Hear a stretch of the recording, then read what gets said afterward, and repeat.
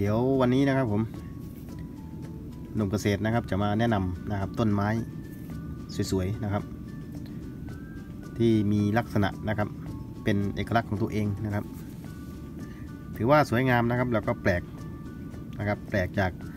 าต้นไม้ชนิดอื่นนะครับ ใบเขานะครับเป็นเอกลักษณ์ของตัวเองนะครับ สวยงามมากนะครับ แนะนำพี่ๆเพื่อนๆนะครับ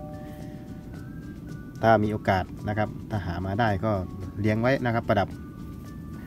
ในห้องก็ได้นะครับห้องรับแขกหรือว่าสถานที่ทำงานนะครับก็สวยนะครับ แล้วก็เป็นใบไม้นะครับ เป็นเอกลักษณ์ของตัวเองเลยนะครับ สวยงามมากเลยนะครับ อัปเดตให้พี่น้องได้ดูกันนะครับ ต้นไม้หลากหลายชนิดหลากหลายอย่างนะครับ อยู่ที่สวนหนุ่มเกษตรทำงานอยู่นะครับผมก็เลยอยากจะแนะนำนะครับ แนะนำต้นไม้ สวยๆนะครับ ให้พี่ๆเพื่อนได้ดูกันนะครับ ไม่เป็นหวังว่านะครับคงเป็นประโยชน์นะครับ ไม่มากก็น้อยนะครับ ผมหรือว่าเป็นแนวทางนะครับ ให้พี่ๆเพื่อนนะครับ ได้ดูกันนะครับ ต้นนี้นะครับมีชื่อว่าต้นพลูชลุนะครับ เป็นต้นไม้สวยงามนะครับ เอกลักษณ์ด้วยใบของเขานะครับ จะไม่เหมือนอต้นไม้ประดับชนิดอื่นนะครับ ใบเขาจะเป็นรูนะครับเป็นรูสวยงามมากนะครับผมนี่ก็คือต้นอ่าพลูฉลุนะครับผมนะครับใบนะครับ ใบเขาจะแตกต่างจากาต้นไม้ชนิดอื่นนะครับ สวยงามนะครับผมแล้วก็รู้สึกว่าขายดีนะครับ ราคาก็ดีนะครับผมหลายร้อยบาทนะครับ ถ้าขายาที่เกาหลีนะครับผม แล้วก็การดูแลนะครับพี่เพื่อนๆ ดูแลง่ายนะครับผมดูแลง่ายปลูกจะปลูกใส่ดินล้วนดินผสมนะครับ แล้วแต่นะครับผมแต่ส่วนาทาง เรานะครับผมได้ปลูกใส่มะพร้าวบดนะครับมะพร้าวบดมะพร้าวชิ้นนะครับ มาผสมกันนะครับ แล้วก็มาปลูกใส่กระถางนะครับเนี่ยครับการดูแลนะครับง่ายนะครับลดน้ำทุกวันก็ได้ครับ แสงแดดลำไรนะครับผมให้ได้รับแสงแดดหน่อยก็ดีนะครับ ผมใบเขาจะได้สวยนะครับ การดูแลง่ายนะครับ ถ้าเขาได้รับวิตามินที่ดีนะครับ ใบเขาก็จะสวยนะครับ เป็นรูนะครับ แต่ถ้าเราดูแลไม่ดีนะครับ ไม่ดูแลไม่ดีขาดวิตามินขาดสารอาหาร เขาไม่ได้รับสารอาหารที่เพียงพอนะครับ ใบเขาก็ไม่เป็นรูนะครับ ใบเขาจะเป็นเหมือนใบไม้ธรรมดานะครับ จะไม่มีรูนะครับอ่าอย่างเช่น สมมุติว่าถ้าเราเอาไปแช่น้ำนะครับ สมมติว่าแช่น้ำแช่น้ำถ้าแช่นานๆนะครับ ถ้าเขาไม่ได้รับวิตามินนะครับ ไม่ได้รับสารอาหารของเขานะครับรับสารอาหารไม่เพียงพอนะครับ ใบเขาก็จากที่เป็นรูนะครับ จากที่เป็นรูก็ ไม่สามารถที่จะเป็นรูได้นะครับ เนื่องจากเขาาไม่ได้รับสารอาหารนะครับ ไม่ได้รับโปรตีนนะครับ ดังนั้น แนะนำนะครับผมต้นไม้สวยงามนะครับ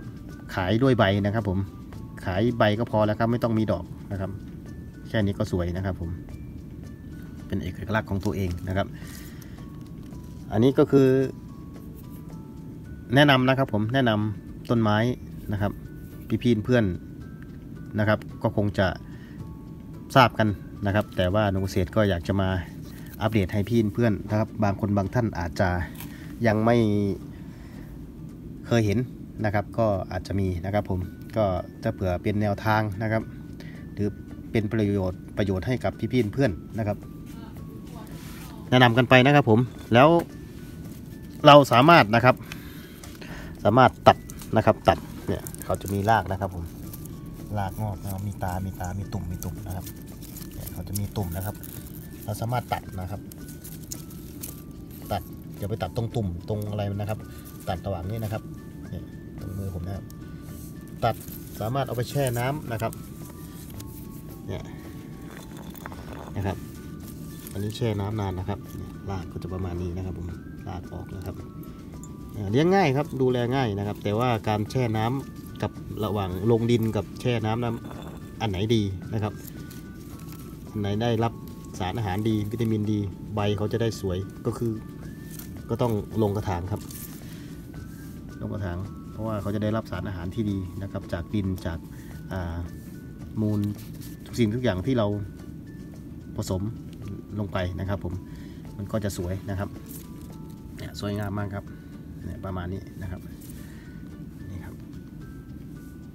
ลุงเกษตรชอบนะครับ ผมว่าใบมันสวยดีนะครับผม อัปเดตให้พี่เพื่อนได้ดูนะครับ ต้นช่อชพูฉลุนะครับ การแช่น้ำแช่น้ำเก็บปักไว้ในออฟฟิศนะครับ หรือว่าในห้องนอนเราก็ได้นะครับ มันเป็นพืชชนิดที่าสามารถเก็บไว้ได้นะครับผม